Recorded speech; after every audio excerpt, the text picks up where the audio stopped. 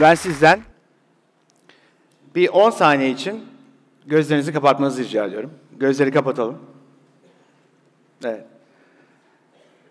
Şimdi 1 milyon dolarınız var. Birisi size 1 milyon dolar hediye etti dünya için. Ve bu milyon doları gözleri açın lütfen. Şimdi bu 1 milyon dolar hesabımıza giriyor. Şimdi bu 1 milyon dolarla neler yapabileceğinizi hayal etmek için bir 3 saniye daha gözleri kapatın lütfen.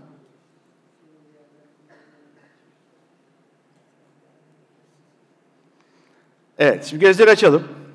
Şimdi birçoğumuz bu tarz bir ev hayal etmiş olabiliriz. Bir kısmımız uzun zamandır almayı en fazla arzu ettiğimiz lüks arabayı almayı hayal etmiş olabiliriz. Bazılarımız markayı çok seven, bizim iş, benim işlerimden bir tanesi marka yönetmek zaten. Markaları almak için ve bunların daha da fazlasını almak için hayaller kurmuş olabiliriz. Aslında 1 milyon dolarla Afrika'da açlıktan ölmek üzere olan 20 bin tane çocuğun hayatını kurtarabiliyoruz bugün. Ya da Türkiye'de okul yaptıranlara teşekkür etmek lazım. Hepimiz zannediyoruz ki okul yaptırmak çok kolay bir iş. 16 dersi bir okulun maliyeti 1 milyon dolar. 570 bin ağaç deyince bir şey anlamayabiliriz ama 570 bin ağaçlık bir orman Ankara'da Çankaya'nın büyüklüğünde bir alanı kapsıyor. 1 milyon dolarla 570 bin ağaçlık bir orman oluşturabilirsiniz. Bu arada bir yanılgı var. Hani ağaç diktim ben orman yaptım falan kestiğim ağaçlar yerine ya da yanan ağaçlar. O öyle olmuyor. Bir ormanın oluşması için toplam 35 sene geçmesi gerekiyor. Yani ağaçlar büyüyecek, onların kökleri birbirine diyecek. Bu kökler üstünden birbirleriyle konuşacaklar. Yaprakları üstünden tohum verecekler. Rüzgarla bu etrafa yayılacak. O zaman orman oluyor. O zaman ekosistem kurtuluyor. O yüzden ağacı kestik, yaktık, yerine diktikle orman oluşturamıyoruz maalesef. Şimdi gündemdeki konulardan bir tanesi sokak hayvanları. 1 milyon dolar ancak sokak 40 bin tane sokak hayvanın bir aylık yiyeceğine yetiyor.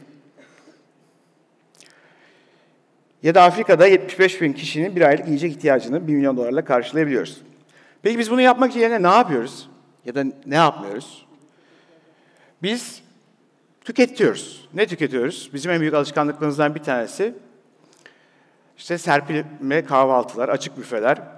Türkiye'de 240 milyar lira her sene ziyan oluyor. Açık büfe ve serpme kahvaltılardan dolayı.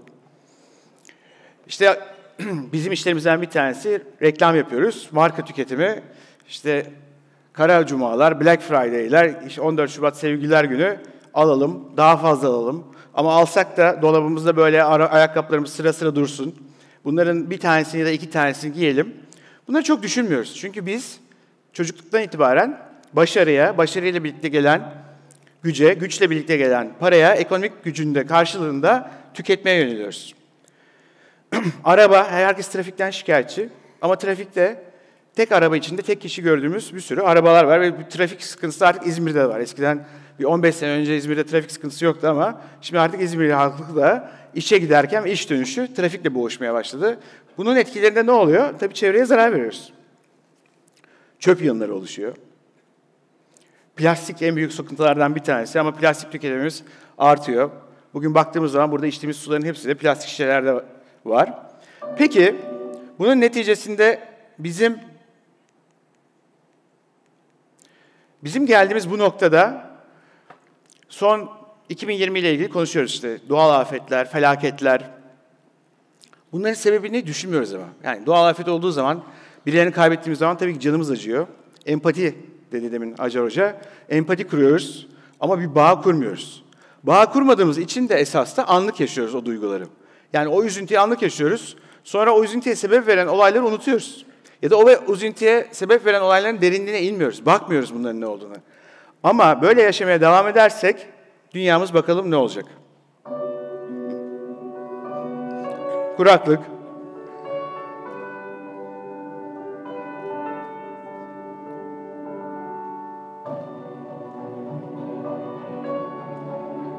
sel,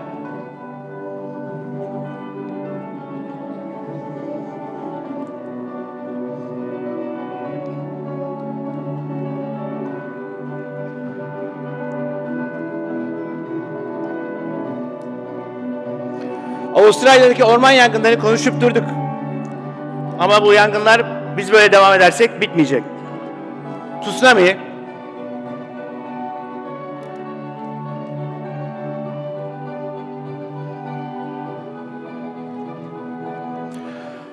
20 senedir konuşuluyor ama hala bunda çözüm bulabilmiş değiliz.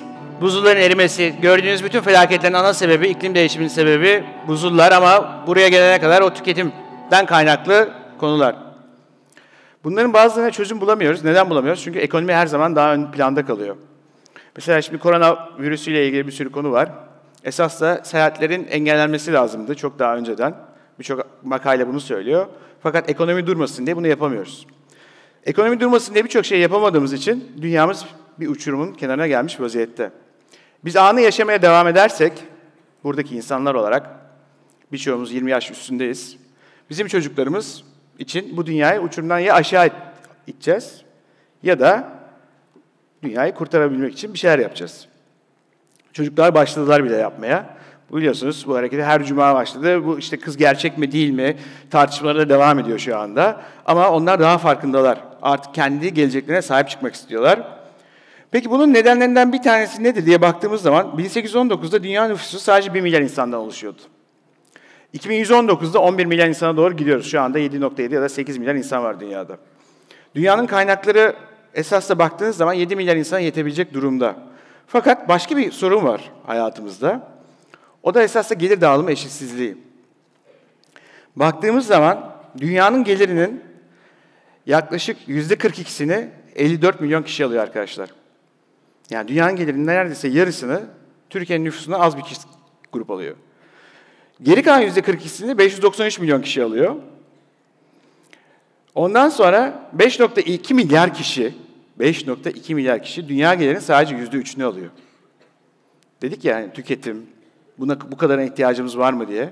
İşte vakıflar bunlar için kuruluyor esasında ama vakıfları kurana kadar bunları çok daha farklı şekilde yönetme imkanına esasında insanlar olarak sahibiz. Nasıl sahibiz? Tünelin sonunda dünya için, insanlık için bir ışık var mı? Yoksa bundan 10 bin sene sonra Elon Musk için Nuh'un peygamberi gibi mi bahsedecekler? İşte insanları aldı, hayvanları aldı, Mars'a götürdü, dünya yok oldu, orada hayat devam etti, sonra geri geldiler diye anlatılacak mı? Şimdi esas da dijitalleşmeyle birlikte hayatımıza giren yeni bir kavram var. Bu da paylaşım ekonomisi. Nedir bu paylaşım ekonomisi? Bizim tüketmemizi daha kontrol altına alacak, ihtiyacımızdan fazlasını tüketmemizi durdurabilecek bir yöntem. Nasıl mı? E, bunu yurt dışındaki artık yaşam şekillerinde görüyorsunuz. İnsanlar araba almaktan vazgeçtiler. Araba almaktansa paylaşımlı araba kullanıyorlar. Farklı markaları servisleri var. Arabaları çağırıyorlar. Arabayı çağırıyorsunuz. Kendi şoförünüz de geliyor. Her gün farklı bir araba binip deneyim yaşayabiliyorsunuz. Böylece arabanın sigortasından, maliyetinden, bakımından, gereksiz benzin harcamasından ve gereksiz enerji tüketiminden kurtarıyorsunuz kendinizi. Paylaşımlı ofisler hayatımıza girdi. Bu paylaşımlı ofisler aynı zamanda startupların yani girişimlerin, yeni işlerin kurulmasını da çoğaltıyor. Bu girişim ekosistemi için çok önemli bir şey. Çünkü ilk başta baktığınız zaman en büyük maliyet bir şirket kurmaktaki ya da bir iş fikrini hayata geçirmekteki acaba ben başarısız olursam bu yaptığım yatırımların boşu boşuna mı yapacağım? Bu paylaşımla ofis ortamlarıyla bunun bu maliyetleri aşağı indiriyorsunuz. Ve gereksiz tüketimden de kendinizi kurtarmış oluyorsunuz. Şimdi Türkiye'de tartışılıyor işte bir sürü emlak var. Atıl kaldı. Bunları kim alacak, kim satacak, ne olacak? Ve bütün bu inşaatlar yapıldıktan sonra ortada bir yeşil de kalmıyor. O yüzden hem çevreye hem de e, cebimize fayda olan bir paylaşım ekonomi sistemiyle daha farklı iş hayatında çözümler bulabiliriz. Şimdi lüks kıyafetler. Hanımlar çok iyi bilirler. En büyük sıkıntılardan bir tanesi bir davete ya da düğüne giderken bir elbise almak ve o elbiseyi işte bir kere giyiyorsunuz gittiğiniz bir davette. Belki iki kere giyiyorsunuz. Sonra dolapta asıl duruyor. Dünya kadar da para veriyorsunuz. Şimdi bu paylaşım ekonomisi mantığında işte gene te- teknolojinin bize getirdiği faydalardan bir tanesi artık elbise almıyorsunuz. Elbisenizi kiralayabiliyorsunuz. E, kiralanan elbiseniz size geliyor gayet güzel temizlenmiş bir şekilde üstünüze göre giyebiliyorsunuz. Bunda en çok kullananlar kimler biliyor musunuz? Ünlüler. En çok parası olanlar bundan daha çok faydalanıyor. Şimdi başkaları şey diye düşünebilir. Ah, şimdi ben bunun başkasının giydiği elbiseyi mi giyeceğim? Hayır öyle bir şey yok. Bu elbise yepyeni bir elbise giyebilirsiniz, kullanabilirsiniz. Bunu en çok yapan, en çok parası olanlar da bu sistemden faydalanıyorlar zaten. Şimdi inşaat şirketleri artık ortak kullanım alanlar yapmaya başladı. Baktığınız zaman esas da evinizde ihtiyacınız olan yegane şey yatak odası, banyo, mutfak.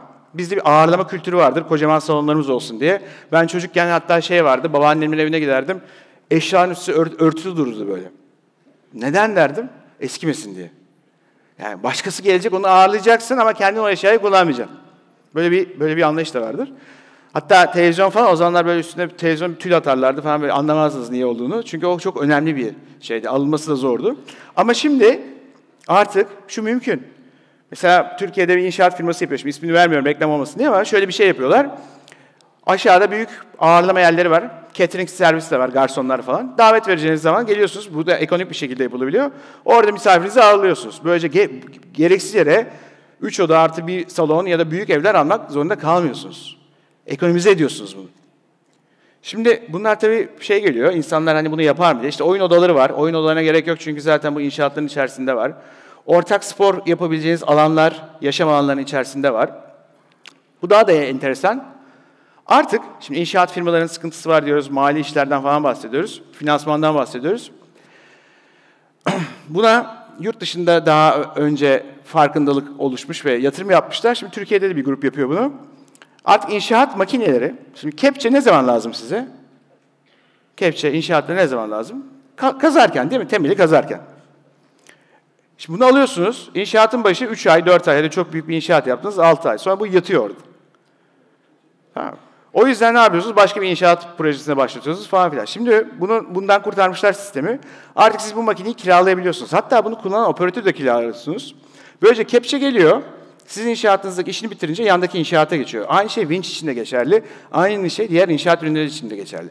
Böylece hem gereksiz bir maliyetten kurtuluyorsunuz, hem gereksiz stoktan kurtuluyorsunuz, hem de bir paylaşım yaratıyorsunuz. Şimdi bütün bunları anlattım ama insanların kafasında şöyle büyük bir soru var. Tunç Bey iyi söylüyorsun, güzel söylüyorsun da insan değişir mi? Bizim doğamız bugüne kadar değişmemiş. Esas da insan değişiyor arkadaşlar. Neden değişiyor biliyor musunuz? Şimdi vegan trendi var. Bu da bir trend yani. Biz pazarlamacıların işi bu, trend yaratmak. Sağlıklı beslenmek için 10 bin senedir insanlar vegan beslenmemişler, şimdi vegan. Bir dönem sanayi yiyorduk, ondan sonra tereyağı yedik. Yumurta faydalı mı değil mi? Her gün gazetede bunları okuyorsunuz zaten. Yani ne faydalı, ne değil falan filan. 10 bin sene önce insanlar ilk biliyorsunuz avcı olarak başlamışlar. Yani hayvanları avlıyorlar. Sonra çiğ yiyorlarmış bunları. Sonra ateşi keşfetmişler. Sonra buğday keşfedilmiş. Şimdi evrim diye bir şey var. Evrimde şöyle bir şey oluyor. Buğday bize ilk başta oturmamış. Bir sürü insan da buğday yemekten dolayı ölmüş. Yani çünkü sistemlerinde işte gluten, gluten, çökelek şimdi konuştuğumuz konular. Ama insan vücudu yaşayan, şu anda biz yaşayanlar buna evrim geçirmiş olarak geliyoruz. Yani biz buğday yemeye yatkın bir toplumuz şu anda. Et yemeye de pişirilmiş olarak yatkın bir toplumuz. Şimdi vegan o bu tartışmasına girmeyeceğim. Sadece şunun için anlatıyorum bunu. İnsanoğlu değişebiliyor ve evrimleşiyor, gelişiyor yani. Evrim de esasında fiziksel olarak başlasa da beyinde başlıyor. Çünkü bunun temelinde beyin var. İnsanın vücudunun temelinde beyin var. İlaçlar esasında bizi iyileştirmiyorlar. İlaçlar bizim vücudumuzu iyileştirdikleri süreçte vücudun kendisini onarmasına yardımcı oluyorlar. Vücudu iyileştiren şey kendi mekanizması. Çünkü mükemmel bir mekanizması var. Şimdi tünelin sonundaki ışık konusuna dönersek buradan, değişebilir miyiz? Evet, değişebiliriz. Size kısa bir video izleteceğim. Nasıl değişebileceğimizi oradan anlatacağım.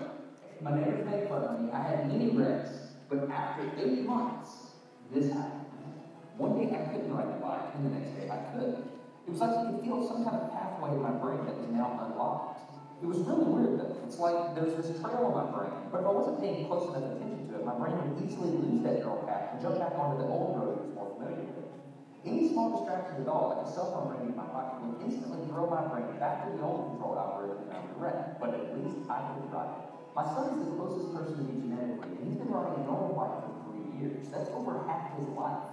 I wanted to know how long it would take him to learn how to ride a backwards bike, so I told him if he learned how to ride a backwards bike, he could go me to Australia and be a real astronaut. Are you going to give up? Go ahead. This is how it starts. Look at this. This is such a big deal. Get up, you got it. Did you see his brain get it? So he, in how many weeks were we doing it? Two weeks? In two weeks, he did something that took me eight months to do, which demonstrates that a child has more neuroplasticity, might you say that right, than an adult. It's clear from this experiment that children have a much more plastic brain than adults. That's why the best time to learn about this is when you're a young child. Evet. Şimdi esas da burada olan ne biliyorsunuz bisiklete binmek. Herkes kim bisiklete binmedi? Var mı aramızda bisiklete binmeyen hiç? Evet. Herkes bisiklete binmiş. Yaklaşık 2000 kişi var herhalde burada. Bisiklete binmeyi unutabilir misiniz? Değil mi? Unutamayız. Şimdi bu videoda gösteren esasında unutulabildiğini gösteriyor. Nasıl unutuyor? Bisikletin gidonunu çıkartıyor, ters takıyor. Yani bisikleti siz sağa çevirdiğinizde sola gidiyor. Tamam? Sola çevirdiğinizde sağa gidiyor. Ve beyin, beyin bunu unutuyor. Çünkü otomatikman sola gitmek için sola dönmek istiyor. Ama gidemiyor. Vücut da ona göre kendi konumdan düşüyor. Çünkü dengede kalmanız lazım ya, bisikleti dengede tutmanız lazım. Kendisine bunu tekrar öğretmesi 8 ay sürüyor.